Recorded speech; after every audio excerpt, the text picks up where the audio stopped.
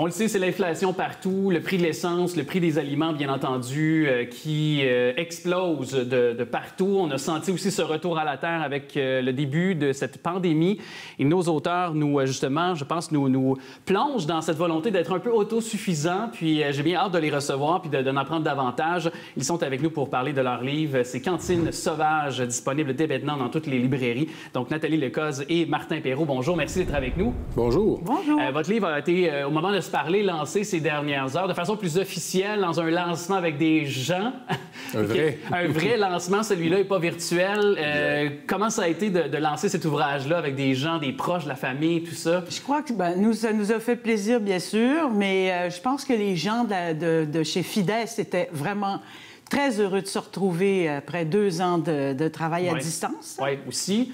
Puis vous, vous avez profité un peu de la pandémie pour en tirer quelque chose de, positif, mais euh, pour faire ce livre-là, si on peut le dire. Mais comment est né ce désir de faire ce livre-là? Est-ce que c'est parce que vous êtes, vous avez toujours été des amants de la nature et vous avez toujours eu un regard euh, euh, sur notre, notre Québec, notre garde-manger québécois? Oui, euh, moi, je cueille, la cueillette des, plantes sauvages m'intéresse depuis très, très, très, très longtemps. Mon père chassait, j'ai chassé un petit peu, la pêche à l'occasion, mais il y a, oui, on est des amants de la nature. Euh, et puis Martin, de son côté, euh, c'est, quand on s'est rencontrés, on rencontré un pêcheur. c'est romantique rencontrer un pêcheur. Bien oui, absolument. Les balades, les balades en, chaloupe autour de l'île de Montréal, c'est magnifique. Mais oui! Au printemps, c'est un des, plus beaux endroits. Vous avez à peu près tous les oiseaux migrateurs qui passent là. C'est des écosystèmes d'une richesse infinie. Mm. Puis les gens n'en profitent pas. Euh, il y a très, très peu de points de mise à l'eau. C'est difficile. Mais il faut faire connaître ça. C'est des endroits extraordinaires. Et vous avez été partout un peu pour, euh, pour nous démontrer à quel point on a un Québec qui peut servir de garde-manger euh, dans toutes les régions du Québec. Et même ici, sur le territoire Lavallois, on peut aller dans nos boisés puis être euh, capable d'aller se procurer des choses à manger, des, espèces de plantes ou autres, je pense. C'est un peu ça qu'on peut comprendre. Laval, c'est une des terres les plus riches de tout le Québec. Hein. C'est extraordinaire. Il y a encore énormément de territoire euh, qui n'est qui, pas exploité sur, euh, sur l'île. Mais même, même en milieu urbain, euh, on va retrouver, euh, ben, je vais te laisser aller là-dessus, mais on a plusieurs espèces. Oui, oui. Dans les ruelles, on trouve de la sclépiade. Euh, elle commence à sortir. J'ai vu des belles pousses en ce moment. Le pissenlit, c'est délicieux. si on sait bien l'apprêter, c'est absolument délicieux. Il y a du sapin baumier. Je ne sais pas s'il y en a beaucoup sur l'île de Montréal, mais il y a quand même... C'est pas tellement loin. C'est une essence d'arbre qu'on retrouve quand même à portée de... de oui, oui, c'est pas très loin non plus. Oui, puis après ça, bon, il y a les vignes. Mais là, évidemment, dans ce livre-là, on s'amuse aussi. Tout le monde n'a pas accès absolument à une vigne, euh, de la vigne Concorde. Martin en a une. Mais euh, mais il y en a dans les ruelles, puis il y, a des gens qui, en profitent plus ou moins. Il y a toujours moyen peut-être de, de troquer. On s'amuse là-dedans. On dit, troquer-le contre quelque chose d'autre.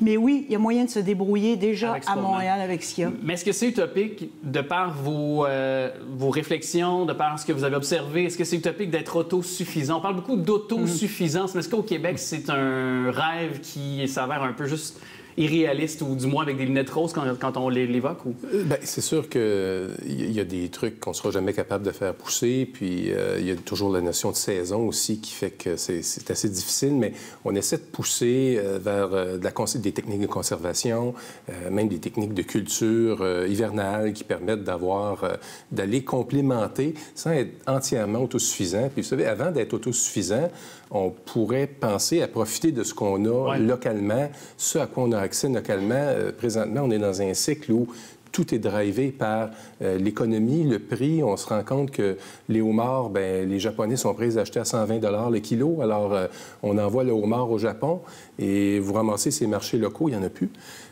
On a 6000 km de littoral, puis vous, comme Québécois, vous n'avez pas accès à du homard parce que vous n'avez pas le droit d'en ramasser pour vous. Pourquoi? C'est entièrement entièrement approprié par le commerce. Euh, il y a des, de la même façon, euh, les, tous les coquillages, les moules, tout ça, c'est toutes des ressources qui sont accessibles. Euh, mais on, essaie de les réglementer, on infantilise les gens, puis au bout du compte, ben, les gens n'en profitent plus, puis ils savent même plus que c'est disponible, que c'est comestible. Puis en même temps, aussi, est-ce qu'on n'enseigne pas également cette transmission? Euh, moi, je, je, je viens de la campagne, on en a parlé un petit peu avant d'ouvrir euh, les, les, micros et les caméras, mais Moi, j'ai été élevé sur un, bon, une ferme, donc l'érablière, euh, poser des collets, euh, aller euh, les lièvres l'hiver, le gibier, les, les perdrix l'automne, lorsque c'était la chasse. Bon, il y en a peut-être qui aiment les animaux puis ils pensent qu'on les. En tout cas, c'est selon nos, croyances, c'est correct, là, si on est aussi végétarien ou autre, mais. Mais donc, ce, savoir-là ne se transmet pas. Puis est-ce que vous avez voulu transmettre un peu ce savoir-là avec ce livre-là? Absolument. à la base, c'était ça le, tout début et la genèse de ce livre-là, même avant qu'on se rencontre puis qu'on décide de le faire, il y avait ça. Moi, j'avais ça en tête. Je me suis toujours intéressée à ça. Puis euh, je me dis, mais c'est incroyable tout ce qu'on est en train d'oublier. On est en train d'oublier euh, euh, un tas de connaissances qui ont fait, qui, ont été à la base de la subsistance de plein de familles québécoises jusque dans les années 60 à peu près. avec l'apparition des bungalows, on a divisé les plantes en les plantes potagères en arrière de la maison, puis les plantes ornementales en avant. C'est comme si à quelque part c'est aberrant, mm. mais c'est comme il y, a eu comme peut-être un déni de de, notre côté d'agriculteurs, de, de, cultivateurs ici au Québec. Puis, euh, ben, il faut, faut peut-être le retrouver.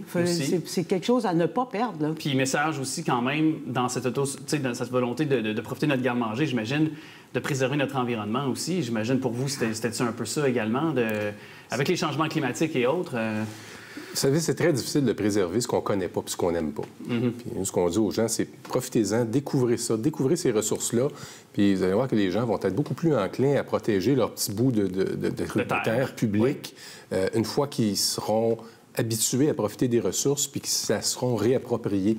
Autrement, ça devient juste un terrain vague comme un autre, puis ça ne dérange pas qu'on bâtisse des, des bungalows ou des logements. du béton, là.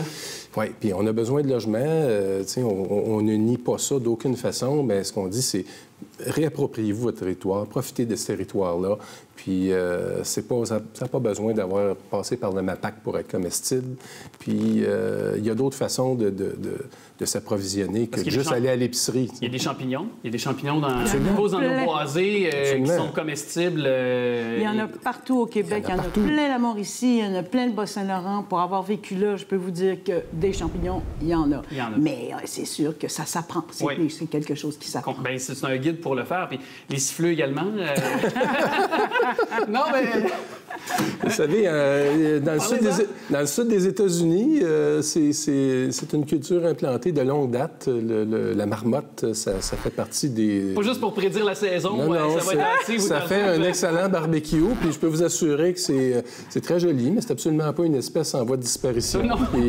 Euh, tous ces écosystèmes-là peuvent supporter un niveau de prédation, rester tout à fait en équilibre.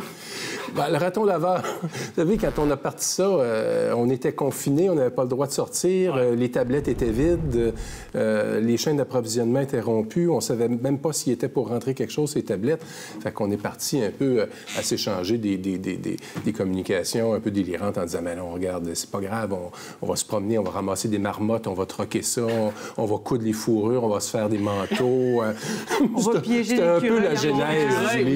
Oui, mais ça, se mange. Je veux dire, il y a des des, des, choses qui sont. Euh, sais qu'il y a des, aussi euh, certains pays asiatiques qui aiment les rats. Euh, Mais oui, absolument. alors, pourquoi Jeanne Benoît propose une recette d'écureuil au vin blanc dans son Oui, dans l'encyclopédie de la cuisine. ça existe. Puis pourquoi pas aussi les dindes sauvages dans les champs. Nos agriculteurs aimeraient bien ça, ça mange les récoltes oui, aussi. Oui, il commence à y en avoir beaucoup. On se fait envahir énormément en campagne. voilà, voilà, exactement. ce sont que quelques éléments que vous retrouverez dans le livre. C'est malheureusement tout le temps qu'on avait, mais Caroline, que j'ai aimé ce livre-là.